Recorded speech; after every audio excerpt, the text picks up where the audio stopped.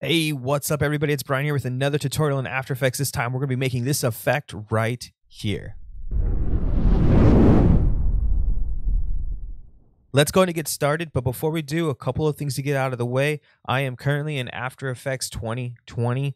Uh, if you're in a previous version, some of the effects that I'm using here may not work out in the same exact way. For instance, I'm going to be using the Cinema 4D render that comes with After Effects. You're also going to need access to Adobe Illustrator, but if you're in Creative Cloud, you already have access to those. So let's go ahead and dive right in and let's get started. All right, here we are. So we're in After Effects 2020 now. This effect is actually really simple and easy to do. Uh, there's no third-party plugins being used, by the way, that I should clarify. So you can actually do this effect right now at home. It's not hard to do. A little bit of a disclaimer, as I, I might add.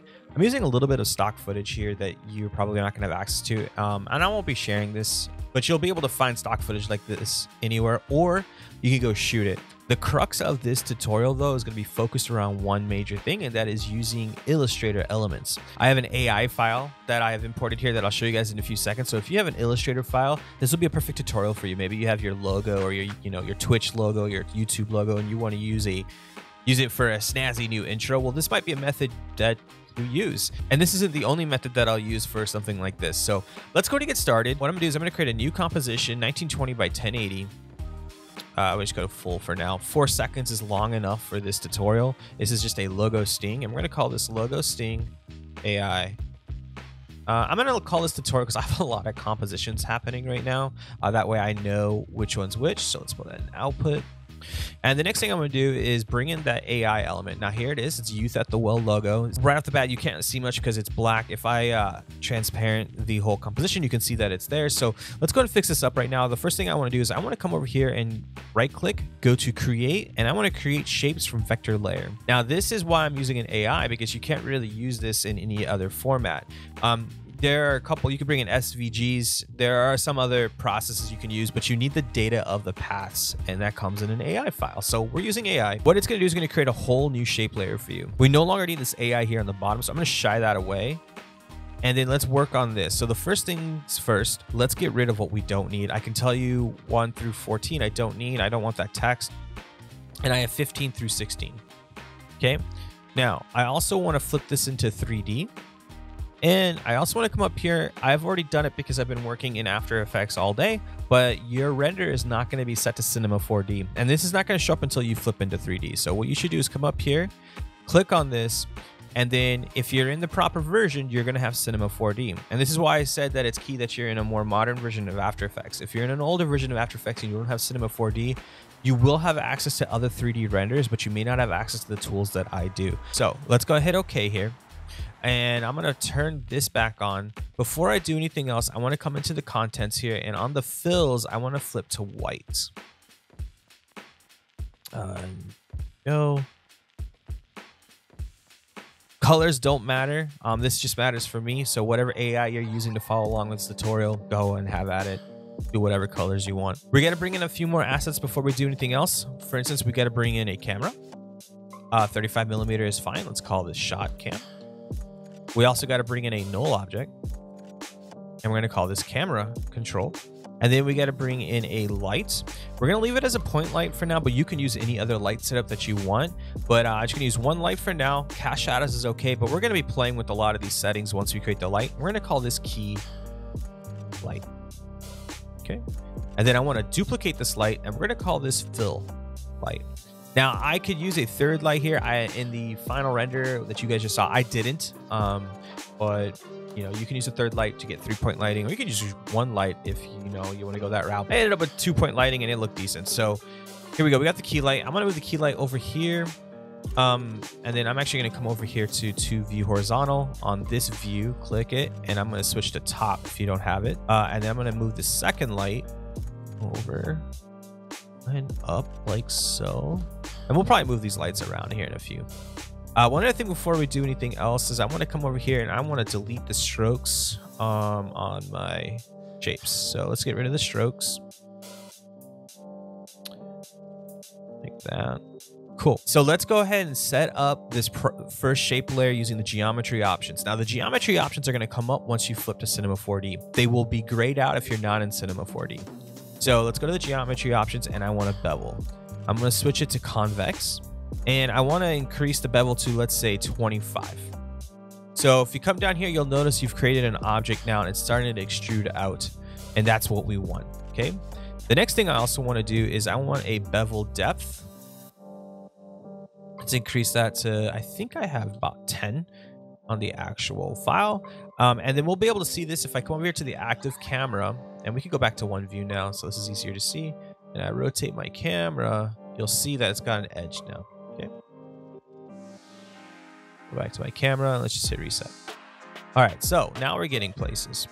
If we also come down here too, let's hit AA on my outlines layer. I want to turn on cast shadows.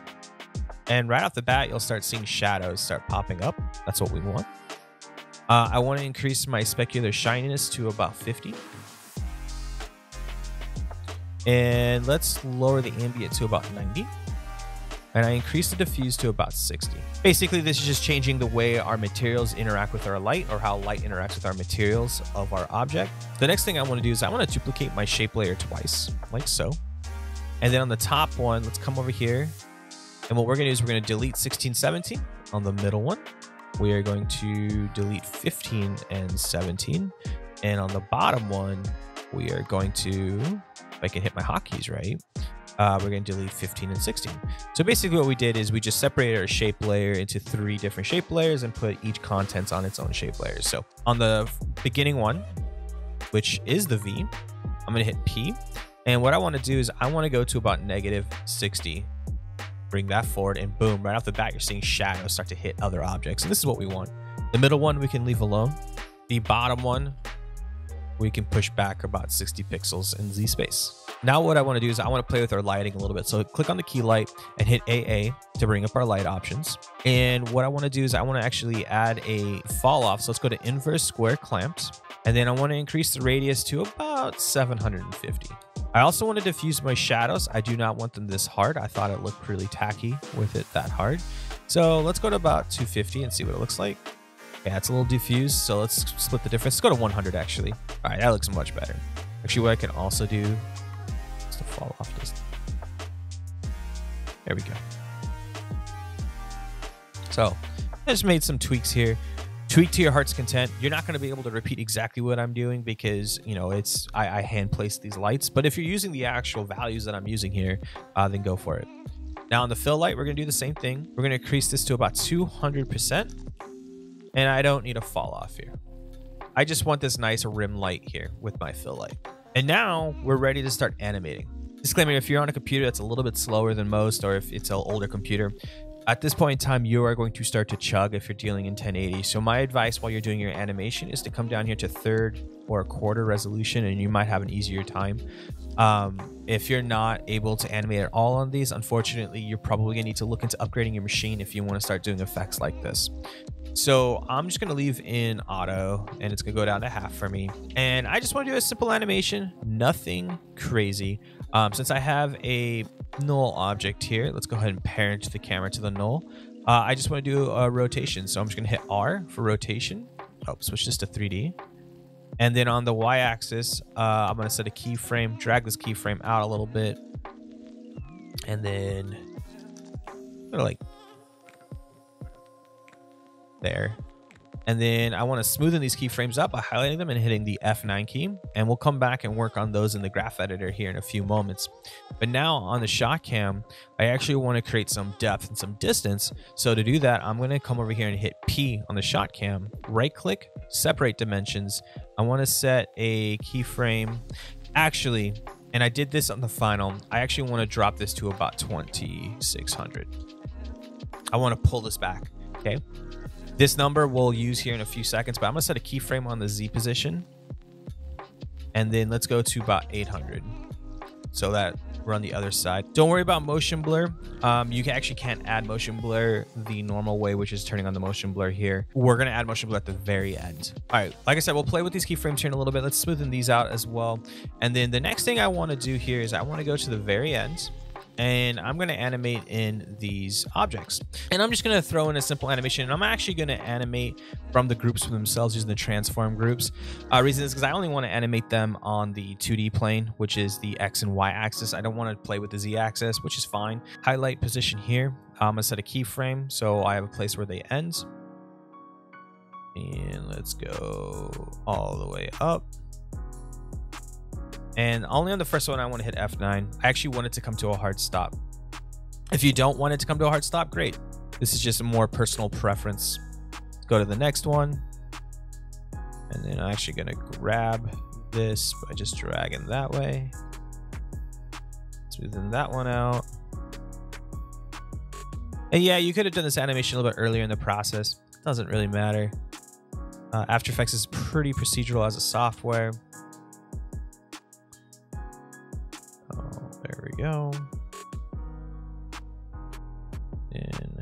Grab this one off. Cool. Now I'm going to highlight these three layers and just hit U for the keyframes. Actually, I am also going to do these layers too and also hit U so we can see where everything's at. Kind of want them to come into rest about right here. Let's just start dragging these keyframes over now that I've created them.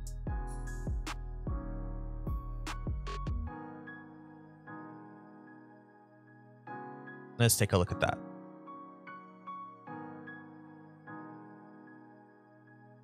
Oh, we have a nice little animation going. Slow these down a little bit.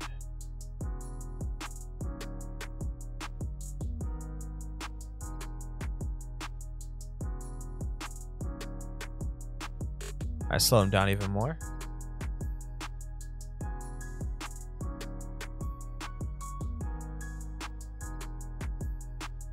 Now let's play with the actual speed, uh, the velocities of our transitions. So let's come over here to the Y rotation. Actually, I want to slow this one down, but I want it to ease in much more. A nice little rest on the uh, Y rotation. Let's go to the shot cam, Z axis, and I'm to do the exact same, but this one will go even further. When you see me move things from side to side, I'm holding down the shift key so it stays on that value that I set for earlier this one.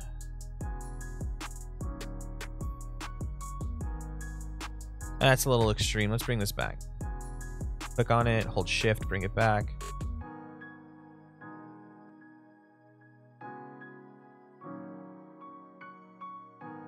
Maybe on this version that I'm creating right now, which is obviously different than what you guys just saw, I do smoothen these frames out. So let's come over here and just hit F9 on these keyframes and see what this looks like. And this is part of being a motion designer. You're constantly tweaking your frames, your keyframes, and seeing how they work out.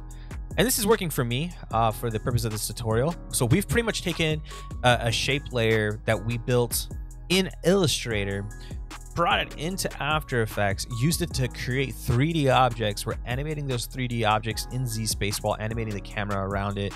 And uh, we have a pretty good we have a pretty good animation here. And if this is what you came for this tutorial for, you could stop here. That's great. That's all you really need. You now know how to use an AI file in After Effects. But we're going to take this the whole nine yards. I'm to show you guys how I added the motion blur and got some of that fall off effect here. Really easy to do. So to do this, what I'm to do is I'm going to highlight all of my layers and I'm going to hold down Control, Shift, and C. We're going to pre-comp them and we're going to call this C4D animation tutorial.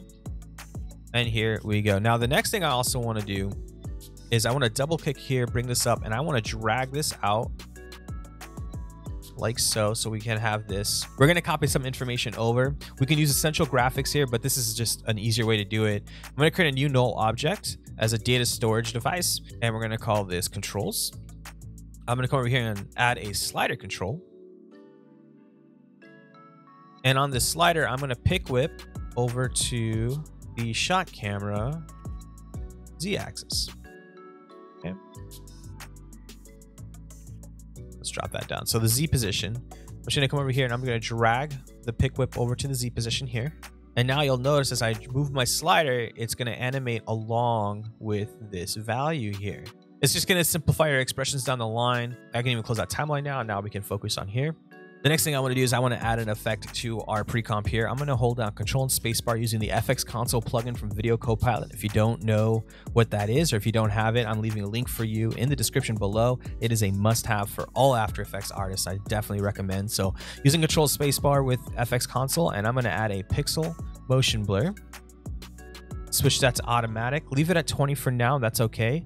Let's also enable motion blur and turn on motion blur for that layer as well. And now since we are no longer using Cinema 4D because we're not in 3D anymore, we should have the motion blur. So now we have the motion blur back added back in and you can see it already looks 10 times more natural. It just looks so much better, looks almost real. Um, obviously, this isn't real; it's breaking the laws of physics, but it's it looks better. So now, when we're dealing in classic 3D in After Effects, you have access to depth of field by using just simply the depth of field on your cameras and then playing with the parameters there. With Cinema 4D, you don't. So now that we're in a 2D scene using a Cinema 4D, essentially a render through the pre-comp, I can add a new adjustment layer here, and we're going to add a simple Gaussian blur. We're going to repeat edge pixels, and then I'm going to hold down the Alt or Option key, and I'm going to create an expression here. I'm going to type in x equals. It's okay if you click over here. It's going to break the uh, expression for now, but I just need to drop this down. So x equals pick whip to this slider, and then colon. And then this expression is a math-based expression. We're going to type in ease, and we're going to type in x, bring that parameter back in, that variable we just created. Uh, and then uh, dragging my slider over. So we have 800. I actually want this to stop right around zero, or I should say start right around zero. And then I want to grab to about, let's say, negative 2400. And then I want to type in zero to 100. And now what's going to happen is as it flies in, we're going to have a little bit of a depth of field here. But I'm realizing I made a mistake already. So what I want to do is I want to shrink this parameter down. Let's say negative 1800. So I'm shrinking down the amount of space for these variables to work. So now instead of, you know, 2400 pixels, I'm only working with 600 pixels here to decide how fast to go from 0 to 100. And this is an ease expression. It's not a linear expression, so it's going to it's going to correlate values with weighted values essentially. And now we have depth of field, making this look even more natural. Using just a simple Gaussian blur.